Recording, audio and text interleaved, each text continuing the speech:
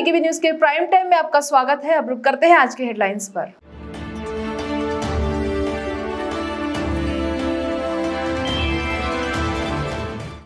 कांग्रेस नेता राहुल गांधी लंदन के लिए हुए रवाना। कई इवेंट्स में होंगे शामिल और आइडिया फॉर इंडिया पर करेंगे चर्चा।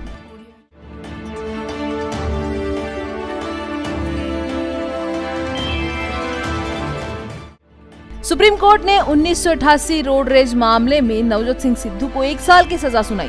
धारा 304 ए के तहत गैर इरादतन हत्या के लिए सिद्धू दोषी।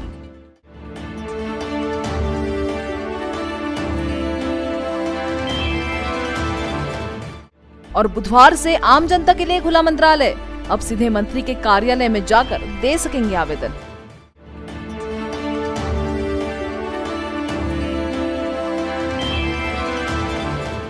और अब खबरें विस्तार से।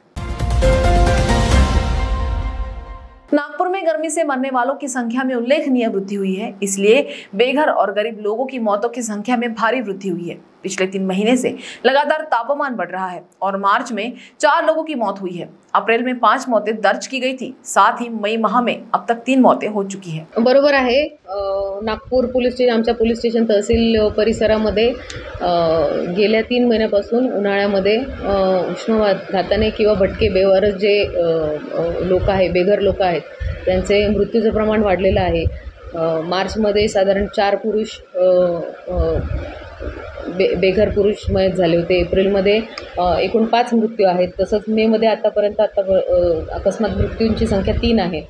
तर नागपूर आणि एकूणच परिसरातलं वाढलेलं तापमान आणि त्यामुळे उन्हामुळे होणारा मृत्यू ह्याच्या आकडेवारीत थोडी वाढ झालेली आहे.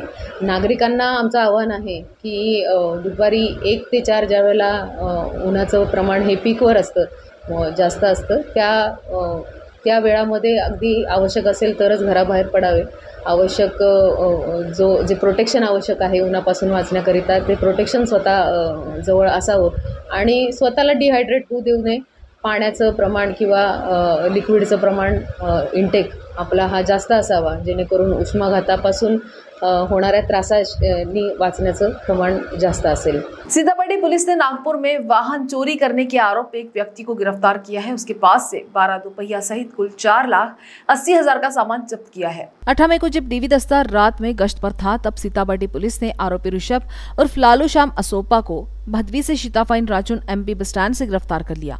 हिरासत में लेने के दौरान आरोपी ने अपना जुर्म कबूल कर लिया। उसके पास से चार एक्टिवा, एक पैशन, एक शाइन, छह डीओ जैसे चार लाख अस्सी हज़ार रुपए मूल्य के कुल बारह दोपहिया वाहन जब्त किए गए। आरोपियों के खिलाफ नागपुर के विभिन्न थानों में चोरी और अन्य अपराधों के कुल पंद्रह मामले दर्ज हैं। आरोपी पुलिस हिरासत में है और सह पुलिस निरीक्षक संतोष कदम आगे की जाँच कर रहे हैं। बीकेबी न्यूज़ के लिए कैमरा पर्सन रोशन बोकड़े के साथ लीना कटरे की रिपोर्ट। पुलिस स्टेशन सीताबर्डी अंतर्गत वाहन चोरीच्या गुन्ह्याचं प्रमाण वाढलं होतं. त्यामुळं आमच्या night स्टाफनी night D B party patrolling करत असताना त्यांना माहिती मिळाली की रिषभ उर्फ लालू श्यामसुंदर असोपा हा वाहन चोरीचे गुन्हे करतो आहे तर गुप्त माहितीदारा माहितीवरून आपण आणि टेक्निकल तांत्रिक मदतीने आपण नमूद आरोपीला ताब्यात घेतलं. नमूद आरोपीकडून आपण पोलीस स्टेशन सीताबर्डी अंतर्गतचे दोन गुन्हे त्याचबरोबर नागपूर शहरातील जरीपटका लकडगंज नंदनवन कोतवाली तहसील सोनेगाव हुडकेश्वर आणि गणेशपेठ अशा वेगवेगळ्या पोलीस स्टेशनच्या अभिलेखावरील एकूण बारा गुन्हे उघडकीस आणलेले आहे. नमूद कारवाईमध्ये पोहावा जयपाल राठोड त्याचबरोबर त्यांचं पथक यांनी काम करून हे गुन्हे उघडकीस आणलेले आहे. माननीय पोलीस आयुक्त नागपूर शहर अमितेश कुमार साहेब माननीय अश्वती दुर्जे मॅडम माननीय नवीनचंद्र रेड्डी साहेब डी सी पी झोंटू आदरणीय पखाले सर आदरणीय निलेश पालवे सर आणि आमचे प्रभारी वपोनी अमोल काचोरे साहेब तसेच डी बी पथकाचे incharge A P I Kadam साहेब यांच्या मार्गदर्शनामध्ये हा तपास करण्यात आलेला आहे. सांगणार ॲक्च्युली हा आरोपी बनावट चावीचा उपयोग करून जे जुने वाहन आहेत त्या वाहनांचे चावी तोडून कुलूप तोडून तो वाहन चोरी करत होता. आणि त्यांचे वडील कॅन्सरग्रस्त असल्यामुळे इतर लोकांना वडिलांच्या इलाजासाठी पैशांची गरज आहे असे बहाना देऊन त्यांच्याकडं हा वाहन गहाण ठेवत होता. आणि अशा माध्यमातून पैसे घेऊन स्वतःच्या शोकासाठी हा पैसे वापरत असताना वापरत आहे अशी आपल्याला माहिती मिळाली त्या आधारावर. आपण आरोपीला ताब्यात घेऊन नमूद गुन्हे उघडकीस आणलेले आहे बरोबर आहे. नागपूर शहरामध्ये चोरी व्यतिरिक्त इतरही प्रकारच्या अनेक गुन्ह्यामध्ये एकूण पंधरा गुन्हे या आरोपीविरुद्ध दाखल आहेत. आणि याचा पूर्वीचा अभिलेख आहे. त्यामुळं तपासादरम्यान आपण त्याच्याकडं जेव्हा अधिक सखोल विचारपूस केली तेव्हा पूर्व अभिलेख असल्यामुळं आरोपीकडून इतक्या मोठ्या प्रमाणामध्ये गुन्हे उघडकीस करण्यासाठी आपल्या पथकाला यश आलेलं आहे. सर ह्या संपूर्ण गुन्ह्यामध्ये सर हा एकटाच आहे आरोपी की याच्यामध्ये आणखी काही सपोर्ट आहे गाडी विकणारा किंवा आणखी घेणारा आणखी कोणी आहे का सर? अद्याप पावे तो आपण केलेल्या तपासामध्ये नमूद आरोपी हा लोकांना माहिती देत होता की माझे वडील कॅन्सरग्रस्त आहेत आणि अशी माहिती देऊन त्यांच्याकडे वाहन घाण ठेवत होता. त्यामुळे सध्या तरी आरोपीचा एकट्याचाच सहभाग निष्पन्न झालेला आहे. पुढील तपास ए पी आय कदम साहेब करत आहेत. वनी में बस स्टैंड के सामने एक ऑटो पलट गया, जिससे ऑटो में बैठी महिला घायल हो गई। इस संबंध में वनी पुलिस ने ऑटो चालक के खिलाफ मामला दर्ज कर लिया है। वनी में गुरुवार सुबह साढ़े दस बजे बस स्टैंड के सामने की यात्री ऑटो के पलट जाने से दो महिलाएँ घायल हो गई है। घायल महिलाओं को इलाज के लिए ग्रामीण अस्पताल में भर्ती कराया गया, जबकि वनी पुलिस ने चालक के खिलाफ मामला दर्ज कर लिया है। प्राप्त जानकारी के अनुसार वनी से नंदपेरा मार्ग पर अवैध यात्रियों को ले जा रहे तिपहिया वाहन के चालक ने लापरवाही से गाड़ी चलाई और बस स्टैंड के सामने पलट दिया। उस वक्त ऑटो में दो महिला यात्री बैठी थी। हादसे में अनिता जांगटे और शोभा वाघड़े घायल हो गए। बताया जा रहा है कि चालक शराब के नशे में और बिना लाइसेंस की गाड़ी चला रहा था। बीकेबी न्यूज़ के लिए यवतमाल से अजित महिंद्रे की रिपोर्ट। यवतमाल के मारेगांव तालुका के पहापल गाँव में मनसे ने छह साल की बच्ची पर हुए अत्याचार के खिलाफ विरोध मार्च निकाला। और तहसील कार्यालय और पुलिस स्टेशन पर जाकर प्रदर्शन किया। मारेगांव पुलिस थाने इलाके में रेप और यौन शोषण के मामलों में भारी इजाफा हुआ है। मनसे के प्रदेश उपाध्यक्ष राजू उम्बारकर ने मांग की है कि आरोपियों को मौत की सजा दी जाए। पहलपाल के मारुति भंडल ने बच्ची को प्रताड़ित किया और उसे खेत में कांटे की झाड़ी में फेंक कर मारने की कोशिश की। मनसे ने कहा है कि समाज को स्तब्ध कर देने वाली इस घटना में विकृत रवैये के आरोपियों के खिलाफ सख्त कार्रवाई की जानी चाहिए। महापूर इथे सहा वर्षाच्या मुलीवर अत्याचार झालेला आहे. आणि त्या मुलीला न्याय मिळण्याकरिता आमची पहिली मागणी आहे की उज्ज्वल निगम साहेबांना सरकारी वकील म्हणून नियुक्त करण्यात यावं. आता माझी अशी अपेक्षा आहे की तुम्ही आत्ताच्या आत्ता कलेक्टर साहेबासोबत एस पी साहेबासोबत बोलून घ्यावं. त्यांना सांगा इथल्या व्यथा की इथली जनता किती चिडलेली आहे.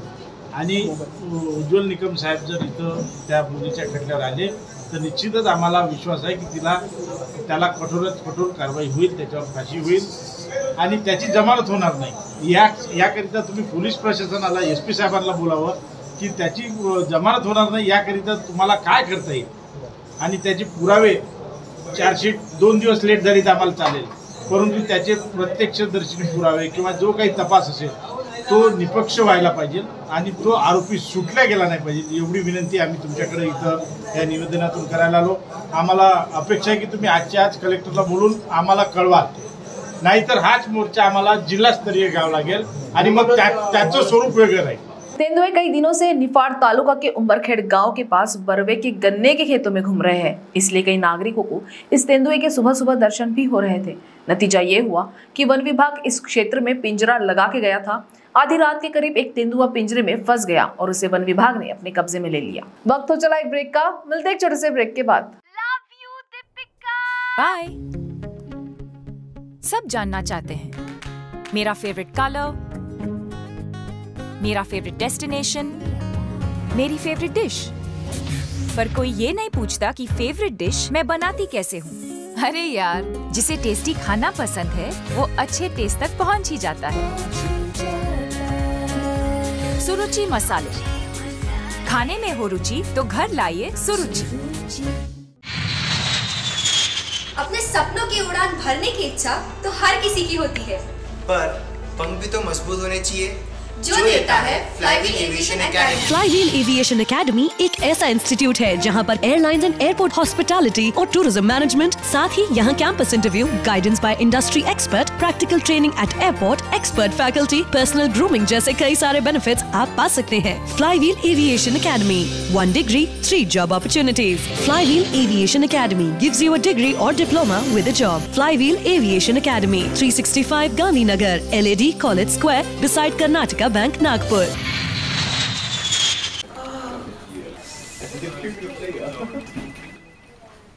boss ने मीटिंग बुलाई। क्या यार? आदमी की तकलीफ़ को तो समझो।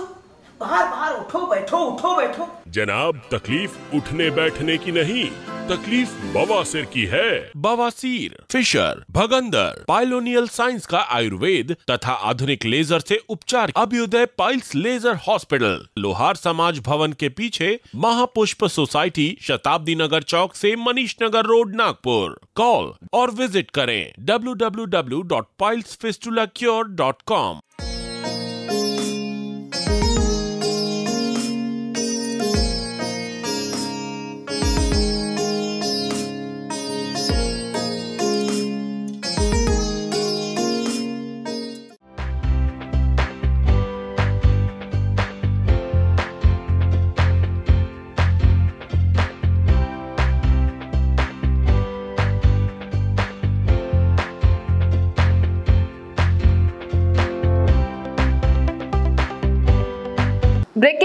स्वागत है।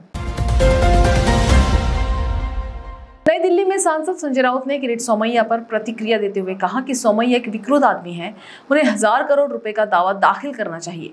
यूथ फाउंडेशन को दिया दान संदिग्ध है। सोमैया को राष्ट्रपति से मिलना चाहिए या परब के रिजॉर्ट को गिराने के लिए इंटरनेशनल कोर्ट ऑफ़ जस्टिस जाना चाहिए, ऐसी प्रतिक्रिया संजय राउत ने दी है। किंवा आंतरराष्ट्रीय न्यायालयात जावं त्यांनी. त्यांना कोण रोखणार? बरं का? वेडा माणूस आहे हो तो. पण सर मी त्यांना प्रश्न विचारला की महागाईवर तुम्ही असं म्हटलं होतं टी व्ही नाईन मराठीशी बोलताना की महागाईवर कुणी बोलत नाही भाजप चोवीसची तयारी चालू आहे. ते असं म्हणतात संजय राऊत महागाईवर बोलत नाही ठाकरे सरकार बेशरम आहे असं किरीट सोमय्या म्हणतात हो येऊन. हो. त्यांची मोठी शरम वाहत चाललेली आहे ना. महापूर आहे त्यांच्या शर्मेचा. म्हणलं ना विकृत माणूस आहे तो. आणि अशा विकृत माणसांना घेऊन भारतीय जनता पक्ष महाराष्ट्रामध्ये आमच्या राज्याची बदनामी करत आहे हे दुर्दैव आहे. कांग्रेस नेता नवजोत सिंह सिद्धू को 34 साल पुराने रोड रेस मामले में सुप्रीम कोर्ट से झटका लगा है। शीर्ष अदालत ने सिद्धू को एक साल कारावास की सजा सुनाई है। जस्टिस ए एम खानविलकर और जस्टिस संजय किशन कौल की बेंच ने यह फैसला सुनाया है। अदालत ने अपने 15 मई 2018 के एक हज़ार रुपए के जुर्माने की सजा को बदल दिया है। कोर्ट के फैसले के बाद सिद्धू ने अपनी प्रतिक्रिया दी है। उन्होंने कहा कि वो कोर्ट के आदेश का पालन करेंगे। सुप्रीम कोर्ट ने गुरुवार को आईपीसी की धारा 304 ए के तहत गैर इरादतन हत्या के लिए सिद्धू को दोषी ठहराने की गुरुमान सिंह के परिवार की याचिका को खारिज कर दिया। हालाँकि कोर्ट ने सिद्धू को धारा 323 के तहत अधिकतम सजा दी। इसके तहत नवजोत सिंह सिद्धू को एक साल के लिए कारावास की सजा दी गई है। फैसले के बाद पंजाब पुलिस ने कांग्रेस नेता को गिरफ़्तार करने की तैयारी कर ली है। पुलिस उन्हें सजा काटने के लिए पटियाला जेल भेज सकती है। रोड रेस का केस चौतीस साल पुराना है। नवजोत सिंह सिद्धू के साथ हुई ये घटना उन्नीस सौ अट्ठासी की है। पंजाब के पटियाला में 27 दिसंबर उन्नीस को नवजोत सिंह सिद्धू ने बीच सड़क पर अपनी गाड़ी पार्क कर रखी थी। उसी समय गुरुमान सिंह दो अन्य लोगों के साथ बैंक से पैसा निकालने के लिए जा रहे थे। बीच सड़क पर गाड़ी देखकर सिद्धू ने उसे हटाने को कहा था। बहस के बाद नवजोत सिंह सिद्धू ने पीड़ित के साथ मारपीट की थी और मौके से फरार हो गए। मारपीट के कारण गुरमान घायल हो गए थे। लोग उन्हें अस्पताल ले गए, जहाँ डॉक्टरों ने उसे मृत घोषित कर दिया था। इस मामले की सुनवाई कई साल चली। सितंबर 1999 में निचली अदालत ने नवजोत सिंह सिद्धू को आरोपों से बरी कर दिया। पीड़ित पक्ष ने हाईकोर्ट में अपील की। हाईकोर्ट ने दिसंबर 2006 में सिद्धू समेत दो लोगों को गैर इरादतन हत्या मामले में दोषी करार दिया। हाईकोर्ट ने तेईस साल पहले दोनों दोषियों को तीन तीन साल कैद सुनाई थी। नवजोत सिंह सिद्धू और रुपिंदर सिंह सिद्धू ने हाई कोर्ट के आदेश को सुप्रीम कोर्ट में चुनौती दी थी, जिसके बाद सुप्रीम कोर्ट ने सिद्धू को मारपीट मामले में दोषी करार देते हुए एक हज़ार रुपए का जुर्माना लगाया था। पीड़ित पक्ष ने एक बार फिर पुनर्विचार याचिका दायर की।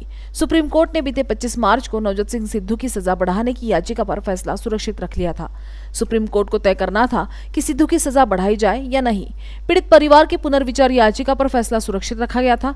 इससे पहले पंजाब कांग्रेस के पूर्व प्रमुख नवजोत सिंह सिद्धू की मुश्किलें बढ़ गई थी। जब गुरुवार को गुजरात में हार्दिक पटेल और पंजाब में सुनील जाखड़ कांग्रेस को अलविदा कह रहे थे, तब पूर्व कांग्रेस अध्यक्ष राहुल गांधी लंदन के लिए रवाना हो चुके थे।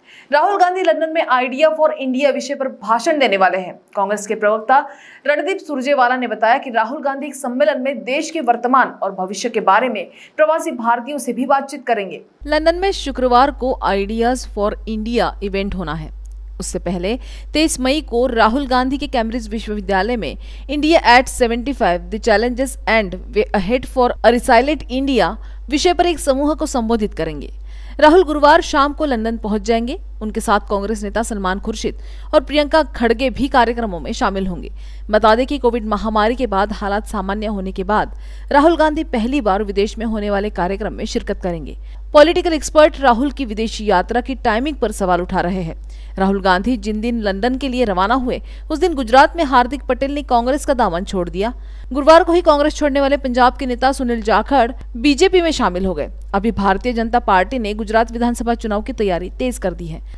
अभी विधानसभा चुनाव सर पर है और राहुल 2024 के लिए अभियान चला रहे हैं। कोरोना के मामलों में उछाल और गिरावट के बीच पूरे दो साल बाद बुधवार को आम आदमी के लिए मंत्रालय के दरवाजे खोल दिए गए हैं। अब कोई भी व्यक्ति सीधे मंत्री के कार्यालय में जाकर आवेदन दे सकता है।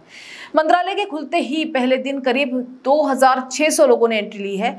ये तब हुआ जब सरकार ने मंत्रालय के आम जन के लिए खोले जाने से संबंधित कोई प्रचार प्रसार नहीं किया था। कोरोना के चलते 16 मार्च 2020 से मंत्रालय में प्रवेश पर रोक लगा दी गई थी। इसके अलावा अधिकारियों व कर्मचारियों की उपस्थिति घटाकर 50 फ़ीसदी तक कर दी गई थी। कोरोना के मामले नियंत्रण में आने के बाद अधिकांश दफ्तरों को फिर से खोल दिया गया, लेकिन मंत्रालय के दरवाजे आमजन के लिए अभी भी बंद रहे। हालाँकि कोरोना काल में लोगों को किस प्रकार की असुविधा से बचाने के लिए गार्डन गेट पर जनता के निवेदन स्वीकारने के लिए एक खिड़की बनाई गई थी। हालाँकि दूरदराज से आने वाले लोगों को असुविधा होती थी। गुड़ी पाड़वा पर राज्य सरकार द्वारा कोविड प्रतिबंध हटाए जाने के बाद से आमजन को मंत्रालय में प्रवेश की अनुमति मिलने का इंतज़ार था। तो वीकेबी प्राइम टाइम न्यूज़ में आज इतना ही। आपसे कल फिर मुलाकात होगी। तब तक देखते रहिए वीकेबी न्यूज़। नमस्कार। い。